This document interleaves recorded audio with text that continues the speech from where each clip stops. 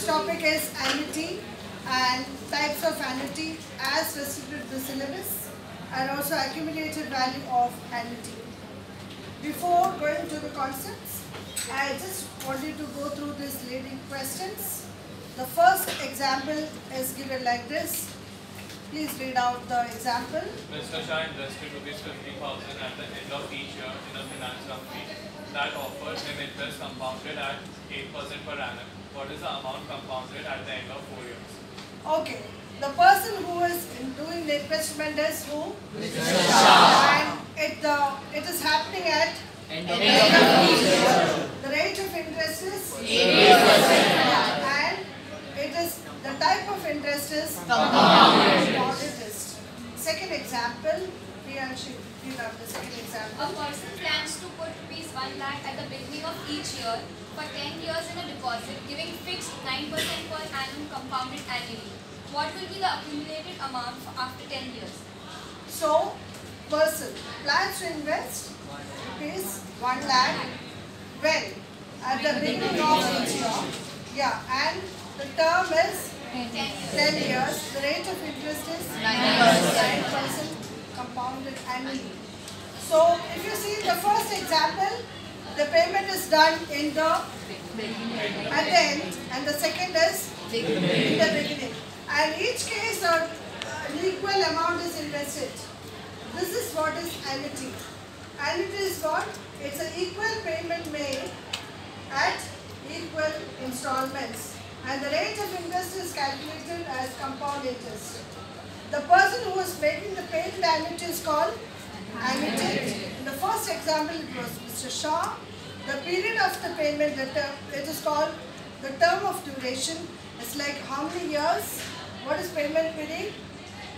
Payment period is the time between two successive payments. And term of or duration is number of terms for the payment.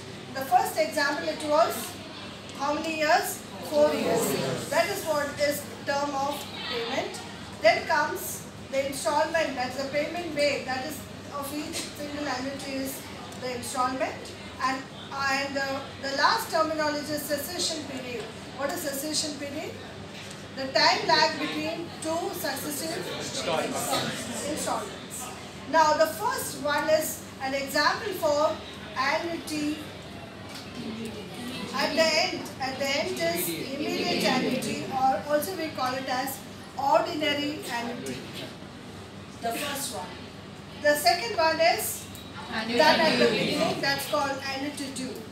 So, as per your syllabus, you know, these are the two things which you have to know, which is part of annuity certain, which are annuity due, where the payment is made in the beginning and immediate annuity which is at the end.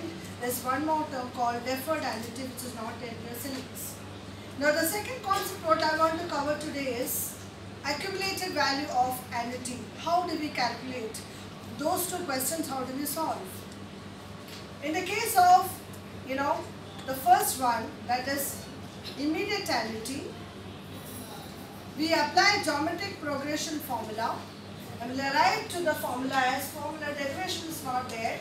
The formula for accumulated amount is A is equal to C bar I into 1 plus I raised to n minus 1.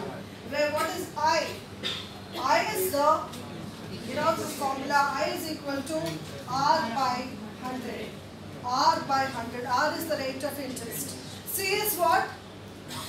C is the annuity amount. N stands for number of the period of payment, the term of the payment. So this is how the formula is. That's how to use it in the first example. And then immediate annuity. Okay. For the second example, that is for which time? It is for annuity due, where the formula becomes A is equal to C upon I into 1 plus I into what? 1 plus I raised to n minus 1. The again we are applying by geometric progression Sn.